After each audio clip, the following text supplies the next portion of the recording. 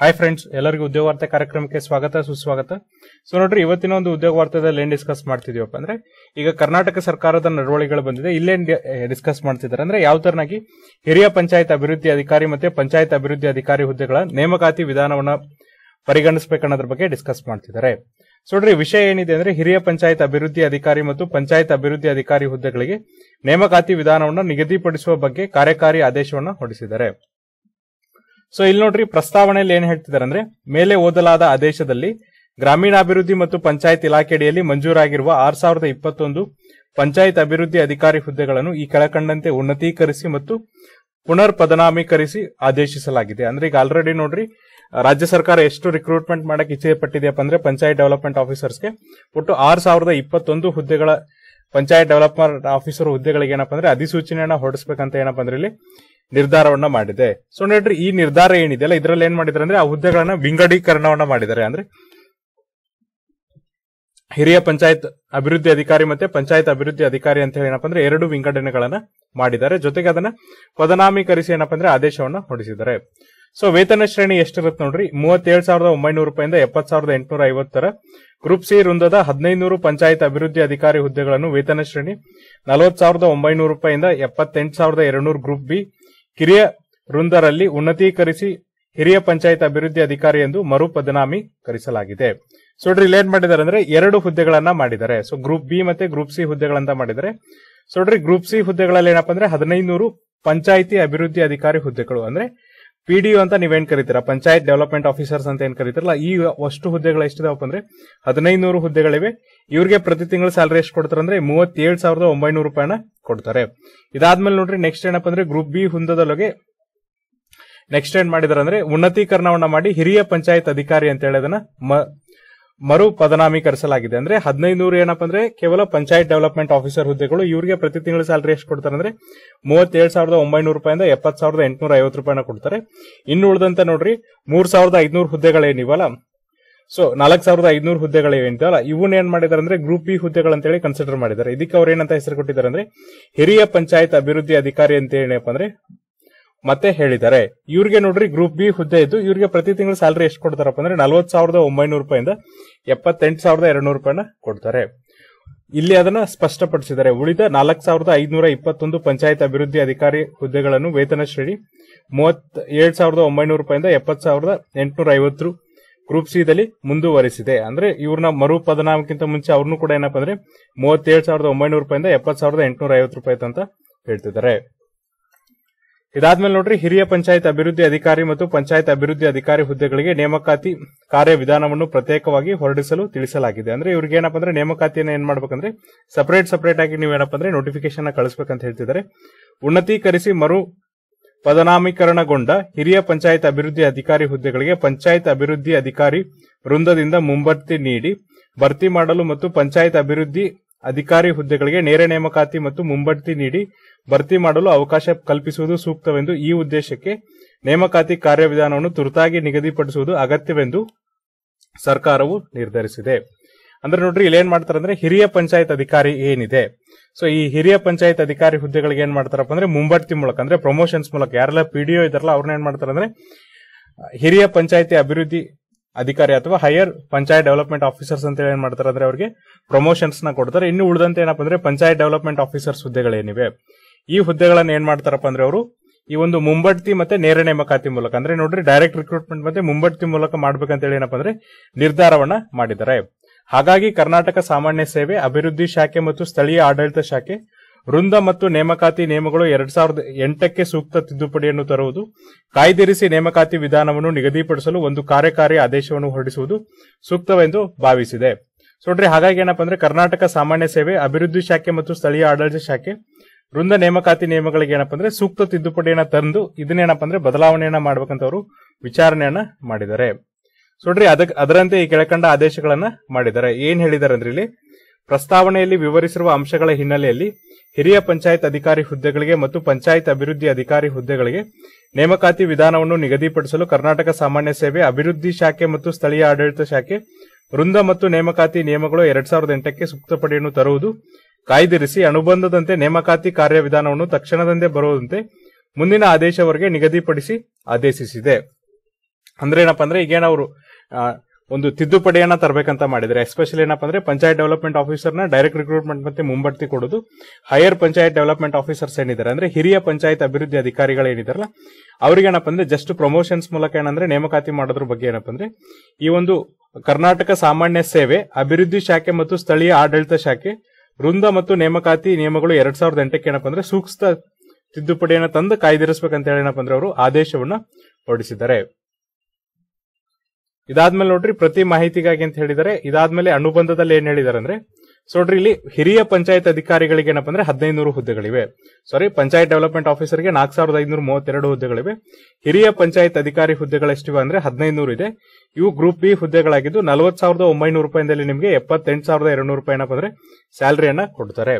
ಇವ್ರಿಗೆ ಏನಪ್ಪ ಅಂದ್ರೆ ಯಾರು ಪಿಡಿಒ ಇರ್ತಾರಲ್ಲ, ಅವ್ರ ಮೂಲಕ ಮುಂಬಡ್ತಿಯನ್ನ ಕೊಡ್ತಾರೆ. ಅಂದ್ರೆ ಯಾರೆಲ್ಲ ಈಗ ಆಲ್ರೆಡಿ ಪಿಡಿಒ ಆಗಿ ಕೆಲಸ ಮಾಡ್ತಿದಾರಲ್ಲ ಅಂತವ್ರಿಗೆ ಏನಪ್ಪ ಅಂದ್ರೆ ಮುಂಬಡ್ತಿ ಕೊಡೋ ಮೂಲಕ ಅಥವಾ ಪ್ರಮೋಷನ್ಸ್ ಕೊಡೋ ಮೂಲಕ ಏನಪ್ಪ ಅಂದ್ರೆ ಇವ್ರೇನ್ ಮಾಡ್ತಾರೆ ಅಂದ್ರೆ ನಿಮಗೆ ಸೆಲೆಕ್ಷನ್ ಅನ್ನ ಮಾಡ್ತಾರೆ ಅಥವಾ ನೇಮಕಾತಿಯನ್ನ ಮಾಡ್ತಾರೆ.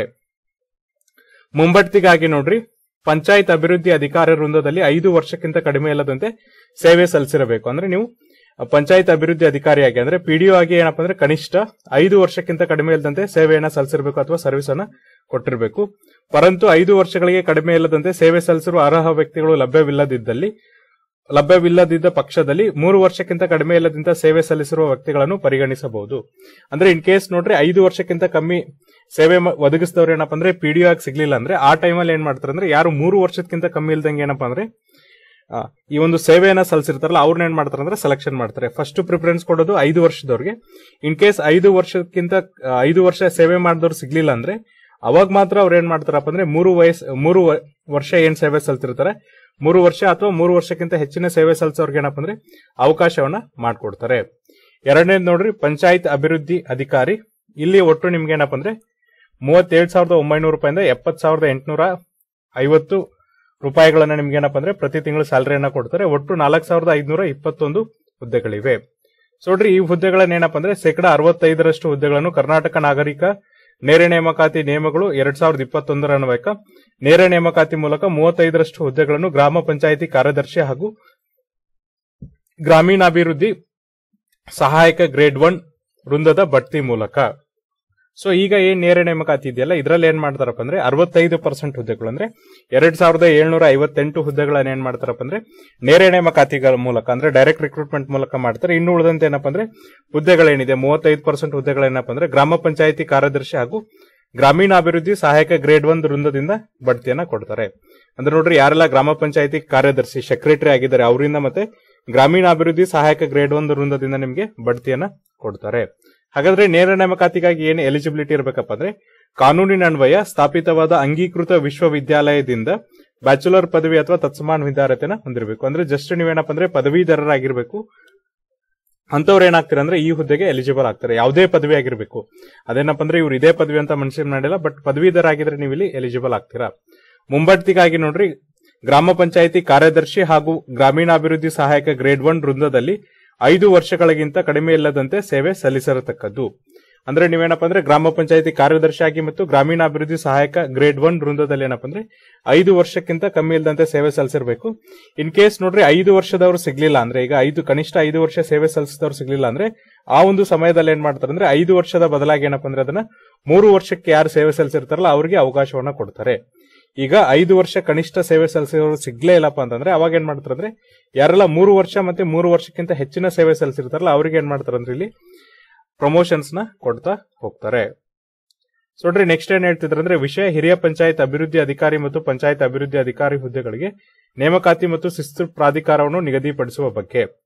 ಸೊ ಇಲ್ಲಿ ಪ್ರಸ್ತಾವನೆಯಲ್ಲಿ ಏನ್ ಹೇಳಿದ್ರೆ ಅಂದ್ರೆ ಮೇಲೆ ಓದಲಾದ ಆದೇಶದಲ್ಲಿ ಗ್ರಾಮೀಣಾಭಿವೃದ್ಧಿ ಮತ್ತು ಪಂಚಾಯತ್ ರಾಜ್ ಇಲಾಖೆಯಲ್ಲಿ ಮಂಜೂರಾಗಿರುವ ಆರ್ ಸಾವಿರದ ಇಪ್ಪತ್ತೊಂದು ಪಂಚಾಯತ್ ಅಭಿವೃದ್ಧಿ ಅಧಿಕಾರಿ ಹುದ್ದೆಗಳನ್ನು ಈ ಕೆಳಕಂಡಂತೆ ಉನ್ನತೀಕರಿಸಿ ಪುನರ್ ಪದನಾಮೀಕರಿಸಿ ಆದೇಶಿಸಲಾಗಿದೆ. ಯಾವ ತರನಾಗ್ಯಪ್ಪ ಅಂದ್ರೆ, ಸೊ ನಾನು ಆಗ್ಲೇ ಹೇಳ್ದಂಗೆ ನೋಡ್ರಿ, ಗ್ರೂಪ್ ಬಿ ಮತ್ತೆ ಗ್ರೂಪ್ ಸಿ ಹುದ್ದೆಗಳನ್ನ ಮಾಡಿದ್ರೆ, ಸೊ ಪಂಚಾಯತ್ ಅಭಿವೃದ್ಧಿ ಅಧಿಕಾರಿಗಳನ್ನ ಏನಪ್ಪ ಅಂದ್ರೆ ಗ್ರೂಪ್ ಸಿ. ನಾಲ್ಕು ಸಾವಿರದ ಐದುನೂರ ಇಪ್ಪತ್ತೊಂದು ಹುದ್ದೆಗಳನ್ನ ಗ್ರೂಪ್ ಸಿ ಮಾಡಿದ್ದಾರೆ ಇದಾದ್ಮೇಲೆ ಗ್ರೂಪ್ ಬಿ ಹುದ್ದೆಗಳಲ್ಲಿ ಏನಪ್ಪ ಅಂದ್ರೆ ಹಿರಿಯ ಪಂಚಾಯತ್ ಅಧಿಕಾರಿಗಳನ್ನ ಇಟ್ಟಿದ್ದಾರೆ. ಇಲ್ಲಿ ಹದಿನೈದು ಹುದ್ದೆಗಳಿವೆ, ಮೂವತ್ತ್ ಏಳು ಸಾವಿರದ ಒಂಬೈನೂರು ರೂಪಾಯಿಂದ ಇವರಿಗೆ ಹಿರಿಯ ಪಂಚಾಯತ್ ಅಧಿಕಾರಿಗಳಿಗೆ ಏನಪ್ಪ ಅಂದ್ರೆ ನಲವತ್ತು ಸಾವಿರದ ಒಂಬೈನೂರು ರೂಪಾಯಿಂದ ಎಪ್ಪತ್ತೆಂಟು ಸಾವಿರದ ಎರಡು ನೂರು ರೂಪಾಯಿ ಸ್ಯಾಲರಿನ ಕೊಟ್ಟರೆ ಪಂಚಾಯತ್ ಅಭಿವೃದ್ಧಿ ಅಧಿಕಾರಿಗಳು ನೋಡ್ರಿ ಮೂವತ್ತೇಳು ಸಾವಿರದ ಒಂಬೈನೂರು ರೂಪಾಯಿಂದ ಎಪ್ಪತ್ತು ಸಾವಿರದ ಎಂಟುನೂರ ಐವತ್ತು ರೂಪಾಯಿ ಹುದ್ದೆಯನ್ನ ಕೊಡ್ತಾರೆ.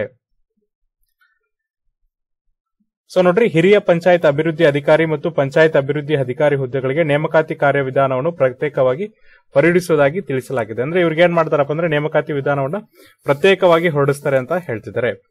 ಈಗ ಹಿರಿಯ ಪಂಚಾಯತ್ ಅಧಿಕ ಅಧಿಕಾರಿಗೆ ಏನಪ್ಪ ಅಂದ್ರೆ ಹೊಸ ನೋಟಿಫಿಕೇಶನ್ ಅನ್ನ ಬಿಡ್ತಾರೆ ಮತ್ತೆ ಪಂಚಾಯತ್ ಅಭಿವೃದ್ಧಿ ಅಧಿಕಾರಿಗೆ ಏನಪ್ಪ ಅಂದ್ರೆ ಹೊಸ ನೋಟಿಫಿಕೇಶನ್ನ ಬಿಡ್ತಾರೆ. ಅಂದ್ರೆ ಇಬ್ಬರಿಗೂ ಕೂಡ ಏನಪ್ಪ ಅಂದ್ರೆ ಸಪರೇಟ್ ಆದಂತ ಅಧಿಸೂಚನೆ ಅಥವಾ ನೋಟಿಫಿಕೇಶನ್ಸ್ನ ಹೊರಡಿಸ್ತಾರೆ. ಈ ಹುದ್ದೆಗಳ, ಈ ಹುದ್ದೆಗಳಿಗೆ ನೇಮಕಾತಿ ಮತ್ತು ಶಿಸ್ತು ಪ್ರಾಧಿಕಾರವನ್ನು ನಿರ್ದಿಷ್ಟಪಡಿಸಿ ಕರ್ನಾಟಕ ನಾಗರಿಕ ಸೇವಾ, ವರ್ಗೀಕರಣ, ನಿಯಂತ್ರಣ ಮತ್ತು ಮೇಲ್ಮನವಿ ನಿಯಮಗಳು ಹತ್ತೊಂಬತ್ತು ನೂರ ಐವತ್ತೇಳರ ಶೆಡ್ಯೂಲ್ ಎರಡರಲ್ಲಿ ಆದೇಶಿ ಶೆಡ್ಯೂಲ್ ಎರಡರಲ್ಲಿ ಸೇರಿಸಿ ಆದೇಶ ಹೊರಡಿಸಬೇಕಿದೆ.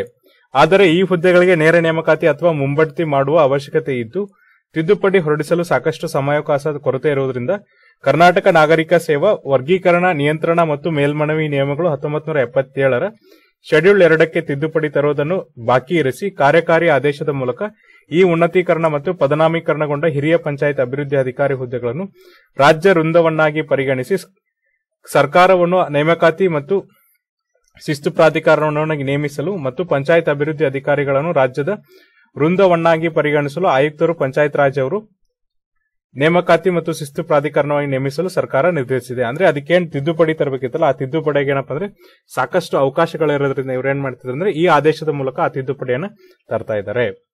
ನೋಡ್ರಿ, ಪ್ರಸ್ತಾವನೆಯಲ್ಲಿ ವಿವರಿಸಿರುವ ಅಂಶಗಳ ಹಿನ್ನೆಲೆಯಲ್ಲಿ ಕರ್ನಾಟಕ ನಾಗರಿಕ ಸೇವಾ ವರ್ಗೀಕರಣ ನಿಯಂತ್ರಣ ಮೇಲ್ಮನವಿ ನಿಯಮಗಳು ಹತ್ತೊಂಬತ್ತು ನೂರ ಐವತ್ತೇಳರ ಶೆಡ್ಯೂಲ್ ಎರಡಕ್ಕೆ ತಿದ್ದುಪಡಿ ತರುವುದನ್ನು ಬಾಕಿ ಇರಿಸಿ ಹಿರಿಯ ಪಂಚಾಯತ್ ಅಭಿವೃದ್ಧಿ ಅಧಿಕಾರಿ ಹುದ್ದೆಗಳನ್ನು ರಾಜ್ಯ ವೃಂದವನ್ನಾಗಿ ಪರಿಗಣಿಸಿ ಸರ್ಕಾರವು ನೇಮಕಾತಿ ಮತ್ತು ಶಿಸ್ತಿ ಪ್ರಾಧಿಕಾರವಾಗಿ ನೇಮಿಸಿದೆ.